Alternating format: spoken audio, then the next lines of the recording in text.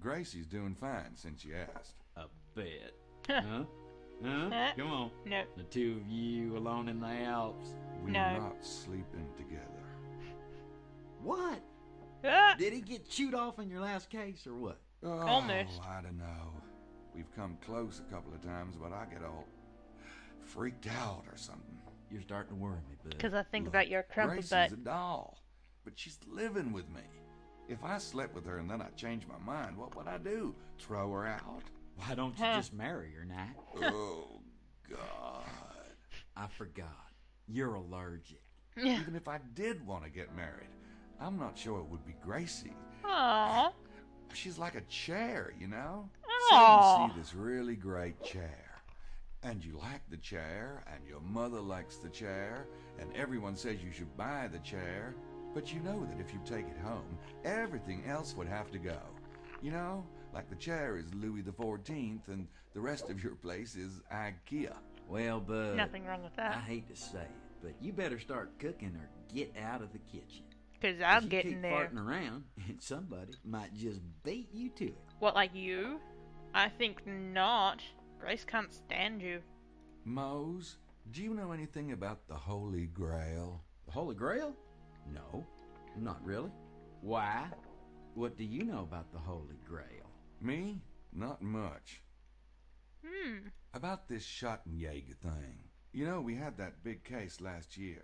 Yeah, I seen your book, The Brutal Beast. God, what a sick freaking mind you got. No, it happened. yeah. Anyway, since then, Grace and Gerda have been getting all organized on me. Do you think in Gracie even Fujitsu this had a sex scene with the wolf called in, in that book? Supposed to help when we're in the field. Of Good course, I'll never use it, but I can't tell her that. Uh huh. You'll be using it, And I alright. noticed you're looking a little toned there, huh? Huh? Yeah, I've been working out. Don't look like Grace it. says I need to be in shape to chase the bad guys. I point to you as an example in the contrary. then she points out that you never get the bad guys. Oh, ha hi. Glad to see you haven't lost your butt stupid sense of humor. So, But you have did to you lose ever that find butt. out uh, how your family got into this whole thing in the first place? No. No.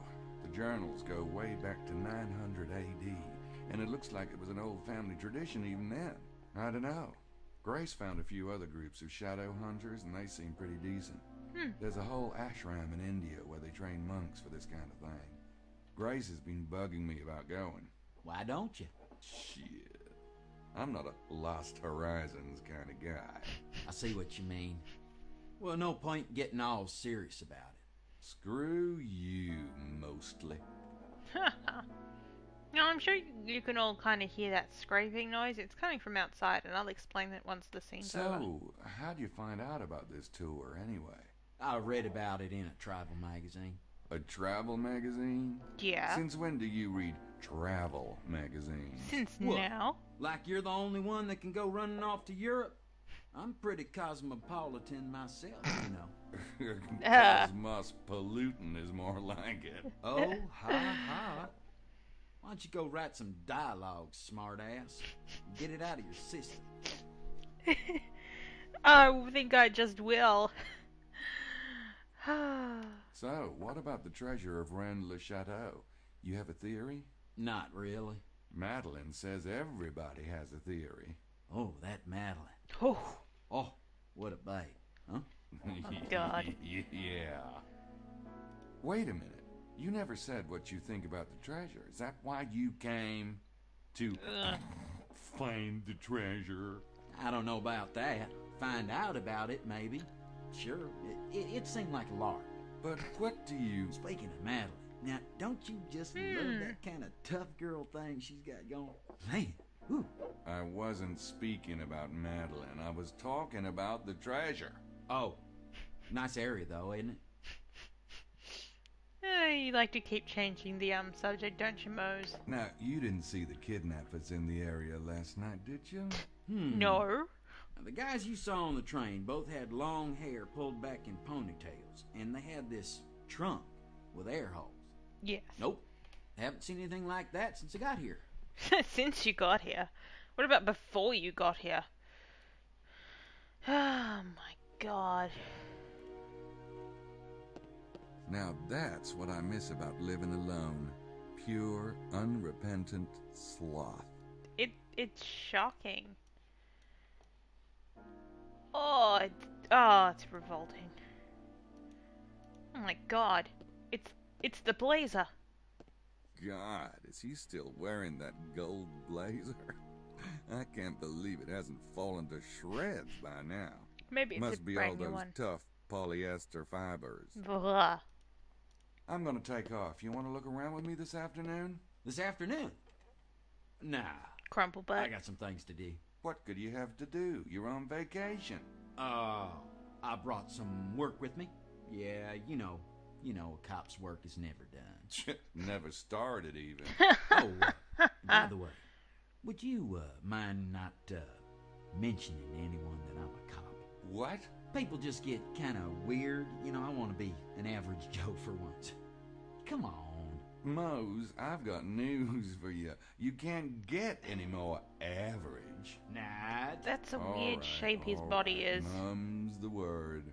thanks. See you around? Yeah. Yeah. See ya. Good God, the designers of this game. See, the the designers of this game just have no idea about proportions. Like this guy has no butt, and it's oh, it's just terrible.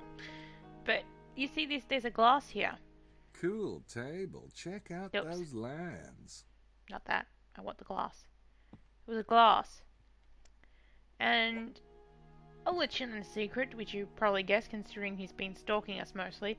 Emilio Barza was there with a glass against the um oh sorry about that.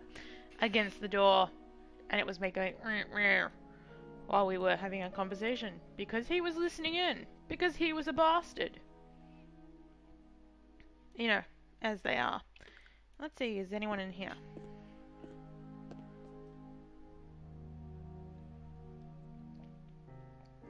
Oh, Buchelli and the ladies.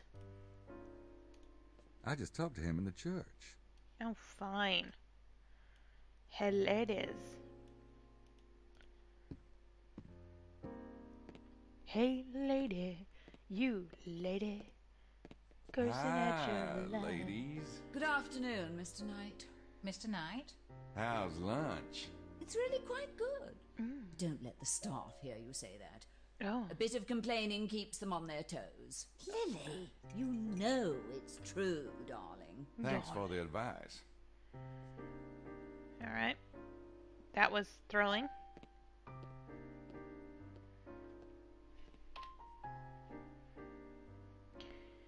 Uh, Jean. And Jean's in the corner and the silver spoon. I'm in a singing mood.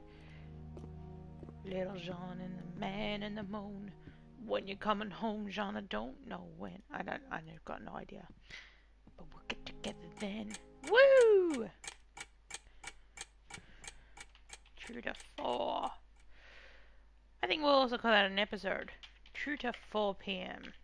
Day one or dat one, whatever. So we'll call that an episode, and um, I'll see you guys in the next part. Bye bye.